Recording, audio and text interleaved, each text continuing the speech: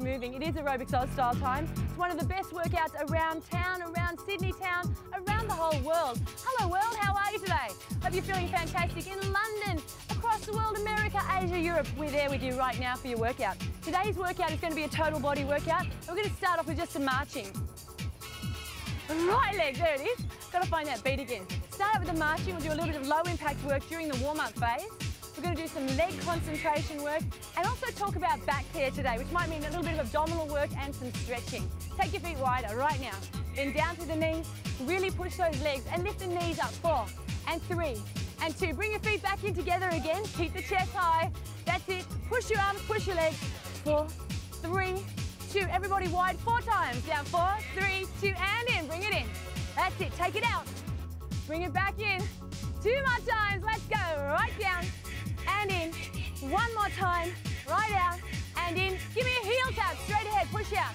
Heel and press, heel and press. You're getting your arms into the routine now. That's it. Everybody, side, tap, take it wide. Open and close. Stretching out through your pectorals, working through the shoulders. And then take the leg behind you for push back, with the arms reach for the roof. That's it. Four more. You got four, three, marching feet together. Let's go. In and out. Let's try that again. Bring it in. And out. Two more times. Bring it in. And out. Get down low. One more time. Bring it in. We're going straight back into heel taps. Let's go. Heel out. Two. Keep pushing. Four more. Press it out. Four. That's three. Everybody take a side tap. Open out wide. Really wide. Come on, touch your toe.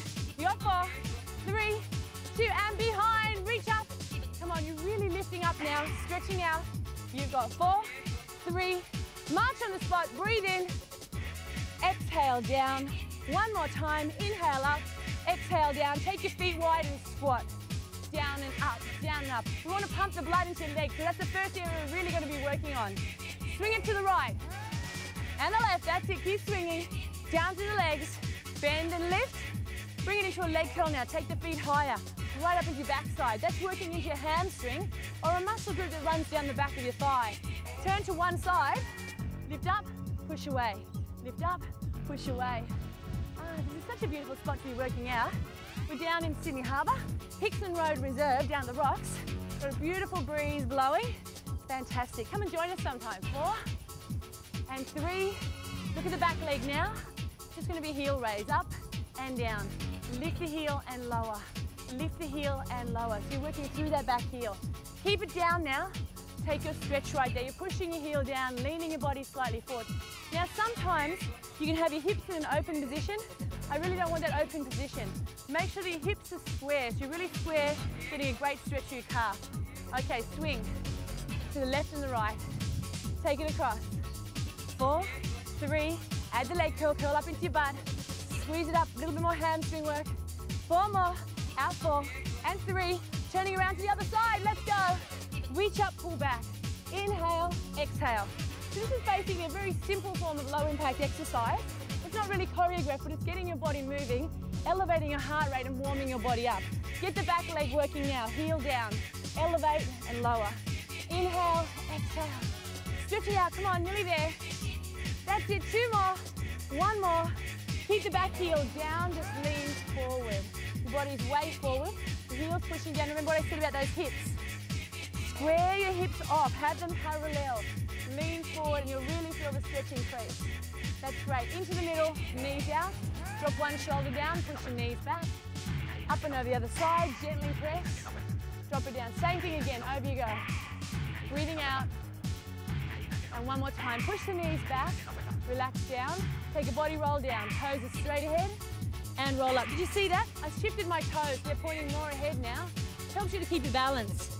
Roll down, roll up. One more. Taking it down and marching right leg, left leg. Let's go. Right, left. You've warmed your body up. You're getting your feet moving. Like I said, we're going to be concentrating into legs today, but it's still important to have good footwear. You wear good shoes when you're working out. It'll give you the support that you need so you won't get wobbly to your ankles. Four more. Come on. Four and three. Okay, guys, forward and back forward, two, three, and back. You can feel your body moving just a little bit more now. What's that gonna do? Elevate the heart rate, warm the body right up. Come on, travel a bit further. Start to pump the blood down into the legs. Anybody can march. It doesn't really take much coordination to march. The hardest thing is actually clapping at the same time. On the floor. That's it, but it's not so important, is it? Keep your feet moving, make sure you got those shoes on. We're coming back with the leg part of our workout. See you soon.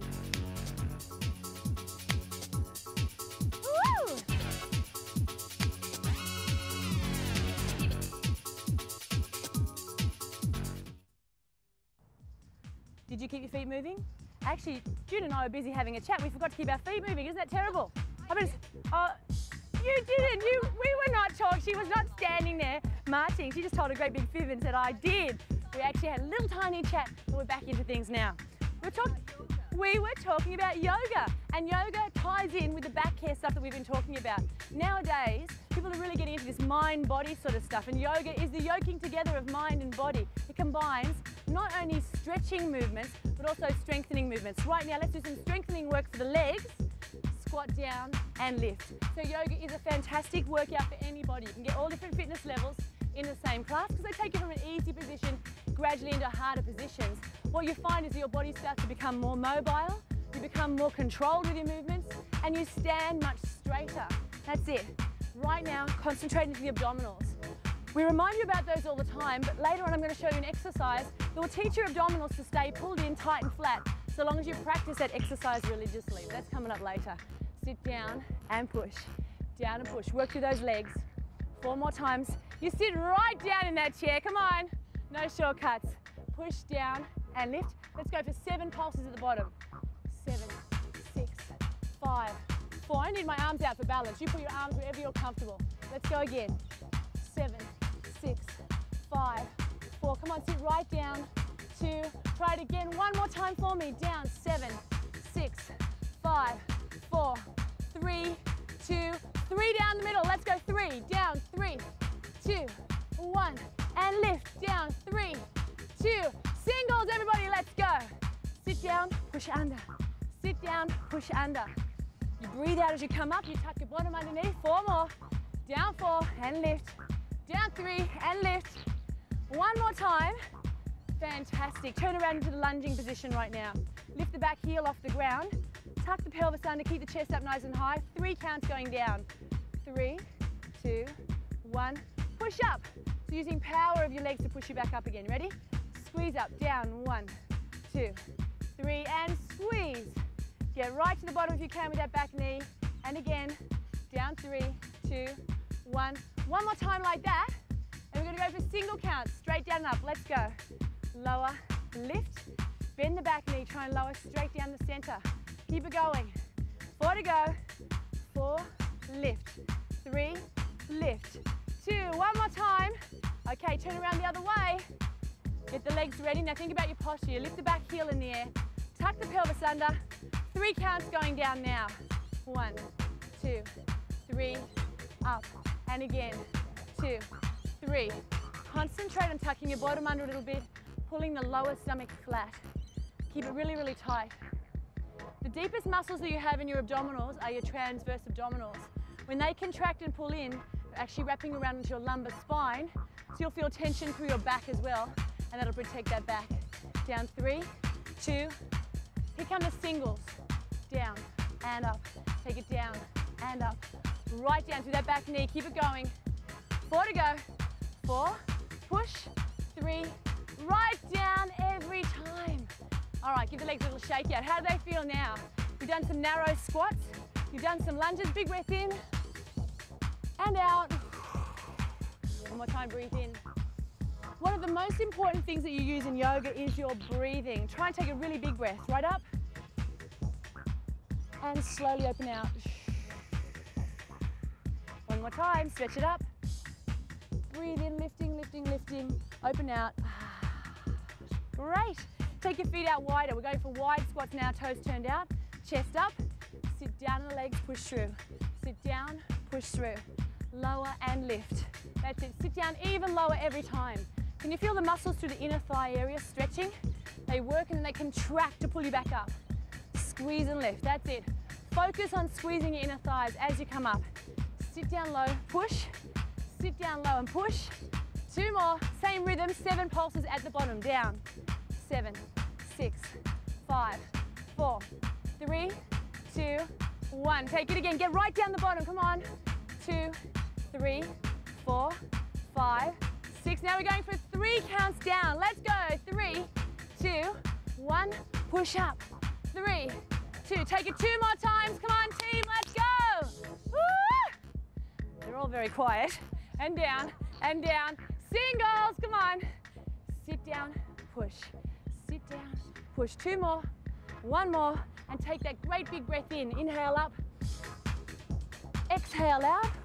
Now we're going to keep our feet moving, June and I. When we come back, as I said before, it's a back care routine. Stay tuned. See you soon.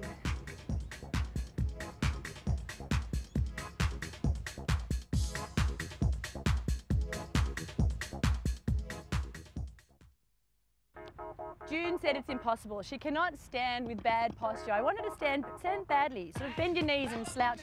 You know how people kind of get all round shouldered and all funny? We're going to talk about back care. So June's standing like an, yeah, one of those. Or the wharfie stand. The wharfie stand. We're going to try and fix June's posture now, which of course is perfect. What you have to do and what you guys are doing right now and what you guys are doing, stand on two legs, just relax your knees a little bit and tuck your pelvis under and release. Just practice that a few times, just under and release. Little tiny pelvic tilt. Not too much, just a little bit. Feel the movement. Very subtle, so just getting that internal, pulling your belly button in. Now hold that, so it's nice and flat. Yep. Shoulder blades squeezed back and down. And the last thing, bring your chin back a little bit. She's already in line. If you look right now, you've got an ear, shoulder, hip, knee, and ankle. One straight line. And she looks really comfortable and relaxed. You're probably feeling a little bit uncomfortable in that position. But if you practice it and you stand really, really tall, it will help your back. Thanks, June. book on the head. Practice with the old book on the head trick. It really does help. So here you are right now, standing nice and tall, everything in alignment. Just loosen those hips off, forward and back a little bit, loosen through the back. Now back care not only involves standing correctly, but of course strengthening certain muscles. And the muscles we want to start to strengthen are actually the deep internal muscles of the abdominals. And to do that, what I need you to do is to lie on your face. Lie flat down, we're not standing up anymore. So lie down your tummies, guys, lie flat down. Let's come over to here to Michelle Nicholas. Now, we're lying flat down, you've got the tummy flat down. All you're thinking about now, do you know when you wear a tight pair of pants, they're really, really tight, they're squeezing, and you want to suck your belly button in?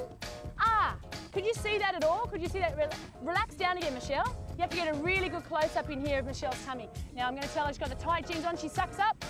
See that lift? And that's what you're working on, that internal lifting sensation.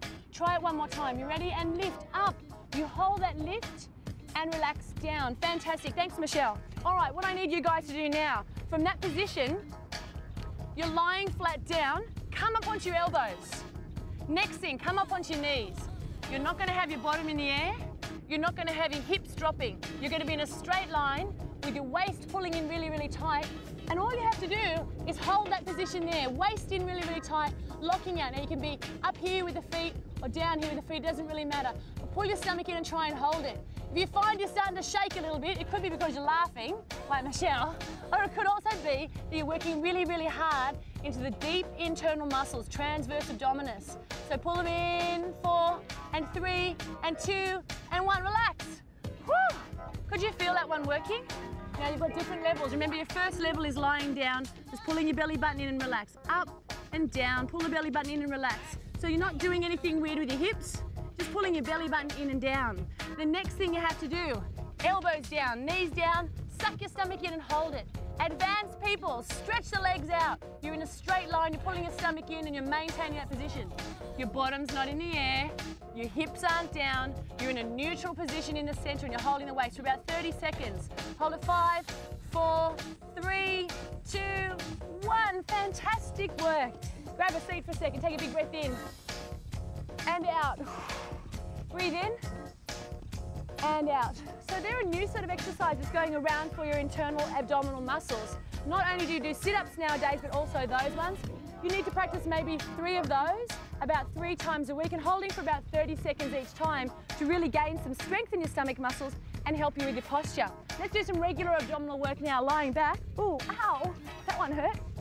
Try it again. Squeezing and lifting, shoulder blades off the ground. So you're lifting that chest up off the ground, your knees are bent, you lift the shoulders off the ground and you're shortening. What we're trying to do nowadays is to actually give you exercises that relate to real life. Now you think about it. Honestly, unless you're an aerobics instructor, how many times a day do you actually do this? How many times a day? Usually once, when you get out of bed in the morning. So to actually do an exercise that you use realistically, that's the thing on the elbows. When you're standing, when you're pulling your stomach muscles in, protecting your back, that's the best exercise for actually training the muscles for reality. But also to strengthen the muscles a bit more, we can do some crunches. Work the two together. Slow it down, four counts up.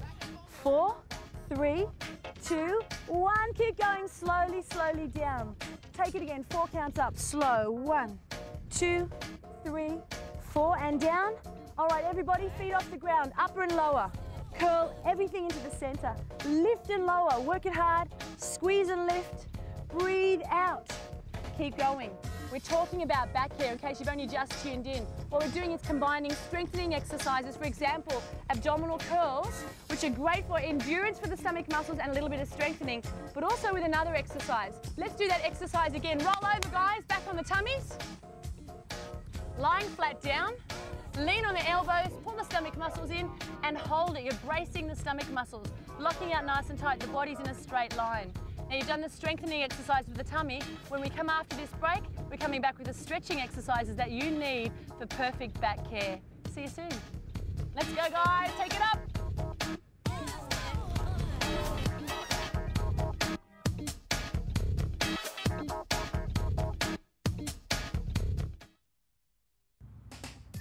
It is so important to concentrate on back care, posture and alignment. Don't forget the things we've shown you so far, especially the abdominal strengthening exercises, but to tie in really, really well, just like yoga does, we need to not only combine strength exercises, but also flexibility exercises. So right now, let's take a hip flexor stretch. Turn yourself around to one side, bend your front knee and stretch your back leg out. You're in a calf stretch right now. It's not a hip flexor stretch yet. You lean forward, put a regular pull down the back of the sort of calf area. But to change this stretch into a hip flexor stretch, I need you to bring your body up straight, tuck your pelvis under, really push through, and even bend your back knee slightly, lift the heel a little bit, you push through and hopefully the stretch has now moved to this area here. Rather than being down the bottom in the calf, you've changed the angle slightly into the hip flexor area. Let's take the stretch down lower now. Bend the back knee, come right down. Lowering the knee, step forward and continue pushing the hip bone forward. And that's when you get another hip flexor stretch as well. So you can actually either doing it standing or kneeling. Some people can't kneel down in their knees, the kneecaps don't cope with it, so you can do a standing version as well. I believe there's even a lying down version. You guys stay there keep stretching there, but to do a lying down version, just lying back here, by having that leg straight and pulling this leg in, you start to get a bit of a lengthening through the hip flexor area. Probably not quite as good as standing and kneeling, but you're still getting a nice stretch through that area there. So there are lots of different versions that you can do to get a lengthening and stretching sensation through your hip flexors. The other area, of course, that needs stretching when you're thinking about back care and posture are your hamstrings, the back of the thigh. So come back, turn your toes up and take your chest over the top really, really important things to do. If you know that you're suffering from a little bit of back pain, or you know you stand with bad posture, or you sit down a lot of the time, these are stretches that are very, very important for you to practice. So any sort of version of a hamstring stretch. You can be either kneeling as we are now, you can even do standing versions by putting your foot up on a chair, or lying on your back, pulling your leg in towards your chest. Any of those things will do. Stretch out the back of the thigh. Okay, change yourself around, take the other side. Toes up, bottom back, Keep your back really, really flat, your chest out, just leaning over, lengthening. Now, which muscle are we stretching? Hamstrings. Don't you forget about that one. That's it. Great. Now change it over, forward. Push the hip bone through, keep the chest up nice and high. Getting the lengthening now over the front of that thigh area, through the hip flexor area. Keep your chest up high. If you slouch over, you won't get a sort of stretch as if you keep your body up really, really tall. Now from here, pushing all the way to the top. Take the calf stretch first of all. You've got the calf thing happening heel down, chest forward, and then change the alignment, chest up, shoulder blades squeezed, pelvis under, and you're now getting your hip flexor stretch. And just stay with that one there. Take some nice big breaths. And exhale down. Woo! Try it again. Big breath in, lift up. And exhale down and relax. So you're shaking out, loosening off the body. Now, not only do you need to concentrate into the lower half of the body when you're stretching and thinking about back care, but also the top part of the body. By taking your arms back, you're either standing in a doorway and leaning through the doorway, or possibly if we go over to June right now and just show you how to do a partner stretch. Turn sideways a little bit, June. That's it. By pulling in this direction here, June's leaning slightly forward, I'm pulling slightly back. You're stretching through the chest area, opening it out, and also stretching through the shoulders. That's great. Remember June was standing with those round shoulders before, that's tight chest muscles. So you learn to sort of stretch them out by doing that stretch. Thanks, June. So remember, you need to not only stretch out through the chest area. We also need to open out through the shoulder blades, release the opposite side. That's it. And relax, fantastic. Loosen off the arms, loosen off the legs, and let's practice one more time good posture and alignment. Your feet are slightly apart. Never stand on one leg or the other leg or hips forward. Standing dead set in the middle, okay. Standing comfortably, knees relaxed, pelvis under, shoulder blades squeezed, and head lifting up nice and tall. So the line is from your ear, shoulder, hip, knee and ankle. One line going all the way down. Get a friend to stand beside you and see if you can get things lined up. Practice all the exercises like strengthening through here, strengthening through the back muscles, stretching the hip flexors and the hamstrings, and that way you'll be able to stand a lot taller. Take a big breath in right now. Exhale, open out. I hope you feel fantastic. We had a great workout and I hope that you did too. See you for the next workout. Bye for now.